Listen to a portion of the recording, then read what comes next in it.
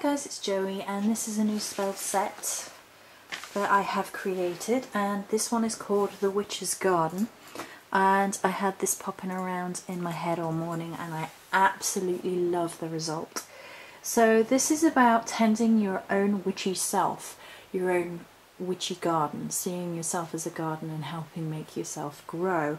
It's about protective energies that allow you to do this safely as well as divination type energies to help you discover your true purpose, your true self, and help yourself grow in whatever way you best feel is right for you. And there are energies contained within to help amplify all of that and bring that into fruition. And this is the healing healing. Well, it has healing as well. Um, healing um, if you feel that you've lost your way and feel damaged. Um, this is the herbal blend and it's absolutely gorgeous. It smells yummy, if I do say so myself, and I'm absolutely kind of besotted with this right now. I love this idea and how it came out. So then this is the oil.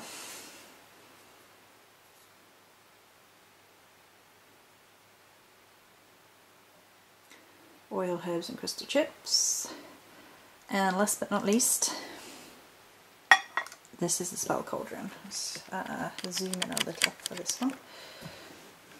So it's got a little witchy charm, little witchy hats. Black for the protective energies and with key herbs and crystal in there. I think it's gorgeous, I really really like it. I'm happy with this. So There's a set in its entirety and I'm really really pleased with this one. I think it's lovely. Many blessings.